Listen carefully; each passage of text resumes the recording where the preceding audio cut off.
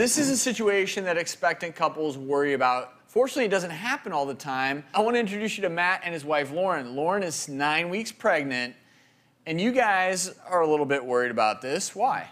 Well, uh, the other day we were on our way to uh, my doctor's appointment, and we're about two hours away from our doctor. And as we were sitting in traffic, it turned more into three hours, and we were sitting there thinking, what if we were in a situation where I was in labor and we didn't make it, or what would we do? What would he do?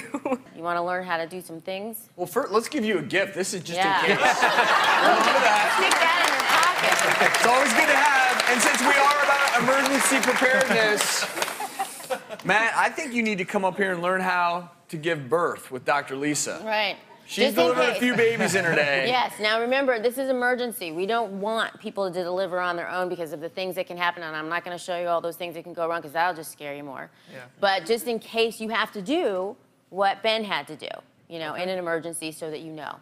Sounds good. So Sounds good. I head on up and Ben, moral support. You know what you're doing, right? That's right. Come on up here, guys. So this lovely lady is going to help us out.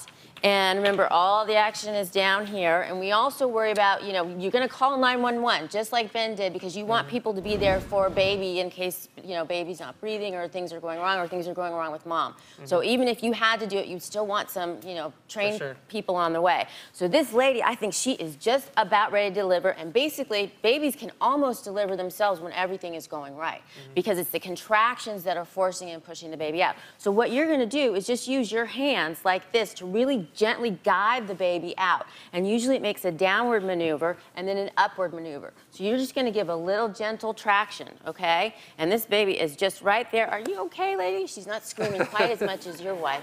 But there she goes. all right, so come on in here. Come on in here. So you're gonna take you're gonna take your hands just like this. And this mommy's gonna come on out, mommy. Keep pushing. Push harder. The baby's coming. It is coming. It is coming. So you're gonna have your hands just like that. Okay, yeah. Just as it comes out, you're just gonna cradle it, and it's good to have something soft underneath. And again, it's starting to make that little downward position. Whee. And just kind of guide the head out like that. Ah! There you go. Ugh. Your hands are just gonna keep gliding it. Okay. And there you go. You got it. You just guided it on out. Woo! All right. There's the baby, daddy. There's the baby. All right. Again, this is just so you know what to do in emergency because you do want trained personnel to be on their way just in mm-hmm. case mommy needs attention or baby needs attention afterwards.